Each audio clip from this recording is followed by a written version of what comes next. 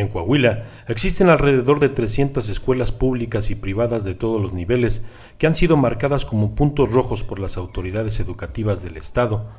debido a que están ubicadas en zonas de alto riesgo por la oleada de inseguridad que se ha desatado en el Estado desde hace ya varios meses.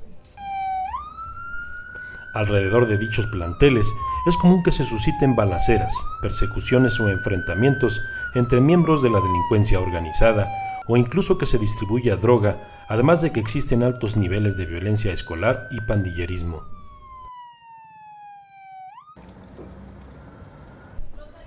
De acuerdo con los encargados del programa de Escuela Segura, tan solo en lo que se refiere a planteles oficiales de educación básica, existen decenas de ellos en Torreón y Saltillo que están enclavados en áreas críticas.